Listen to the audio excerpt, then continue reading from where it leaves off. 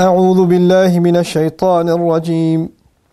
قل يا عبادي الذين أسرفوا على أنفسهم لا تقنطوا من رحمة الله. إن الله يغفر الذنوب جميعا. إنه هو الغفور الرحيم. رب اشرح لي صدري ويسر لي أمري واحلل عقدة من لساني يفقه قولي. فالحمد لله والصلاة والسلام على رسول الله. وعلى آله وصحبه أجمعين السلام عليكم ورحمة الله Quran Weekly Now we're on the 24th juz and I'm sharing with you an ayah from Surah Al-Zumar, the 39th surah and this is the 30 or the 53rd ayah of the surah. In this uh, ayah, the first thing to note is the word qul. Allah says say, which means He's commanding the Prophet to convey a message. And this is important because this is supposed to be a message of hope. And the first thing we're learning is the people who will deliver the message of Islam part of their job is to make sure that they themselves personally deliver hope. That's captured inside Qul. Allah could have spoken to the people directly, Ya ibadi alladhina asrafu ala anfusihim. My slaves who've wronged among them, uh, who've done uh, violations against themselves. He didn't say that. He said, say my slaves who've wronged, among, wronged themselves, or who have done wrong to themselves, or crossed the limits against themselves. But I'll get to that part later. The first thing to note is Qul. The Prophet is supposed to go and deliver hope. The Prophet is supposed to put somebody, his hand on someone's shoulder, sallallahu alaihi wasallam, and tell them it's okay. Here's what Allah has to say to you. I have something that Allah said to you directly that I want to share with you. Then, ya ibadi, my slaves, my slaves. Ibad is actually different from abid. Abid is used for all the slaves, in, in the Quran specifically, abid is used for slaves that don't obey Allah. The is abid. وَمَا اللَّهُ uh, you know, وَمَا يُرِيدُ اللَّهُ ظُلْمًا وَمَا اللَّهُ يُرِيدُ Allah doesn't intend wrong for the abid. They do wrong themselves. But ibad, ibad is used for good slaves. And in this ayah, it's actually about sinners, but Allah is saying, you can still be my slaves. You can make tawbah. الَّذِينَ أَسْرَفُوا and أَنفُسِهِمْ Those who went overboard against themselves, who overdid it, who crossed the line who got close to the haram and then went into the haram. And you did that wrong against yourself and you feel really, really bad that you did. You're still my slaves. Don't cut yourself off from me. You commit a sin and you're afraid to look back. There's a mountain of sin behind you, so when you want to turn back to Allah, instead of seeing Allah or instead of meeting with Allah, you just meet with the sin in your past. Allah says, I know you, you've done something wrong against yourselves. And I know that sin is huge and that sin is so depressing that you don't even want to think about coming back to Allah anymore. You're like, who am I to come back to Allah? My sin is too huge. Allah says, لا على أنفسهم لا تقنطوا من رحمة الله.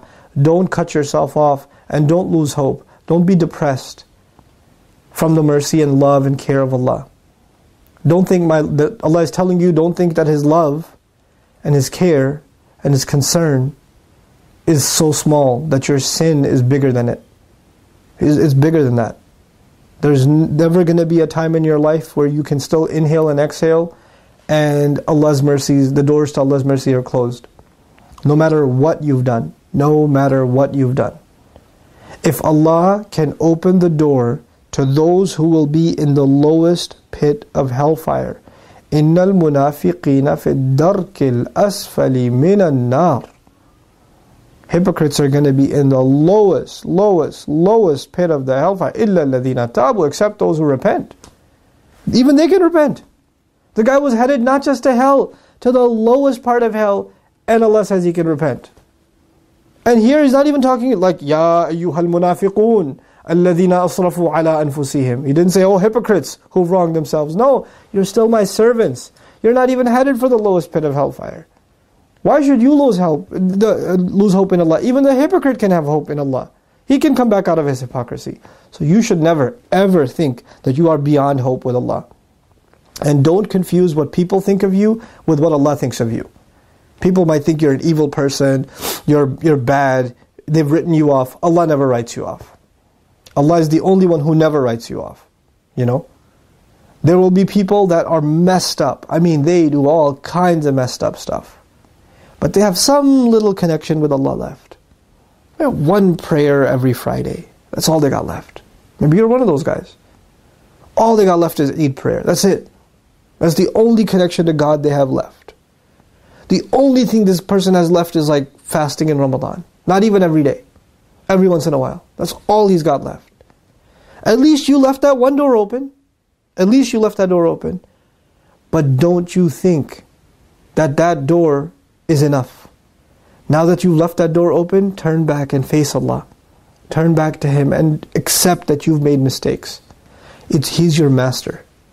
And your master is telling you He loves you, that He wants you back, that He wants you to turn back to Him, that He wants you to rethink your life. If you give Allah a chance, Allah Azza wa is waiting, and he, the offer He's making to for you, you know, because you've done so much wrong. I mean, it's a lot of wrong. Allah says, what will He do if you can turn back to Him? إِنَّ اللَّهَ يَغْفِرُ الذُّنُوبَ جَمِيعًا no doubt about it, Allah is going to, He in fact will cover the mistakes, will forgive, will overlook the mistakes, all of them.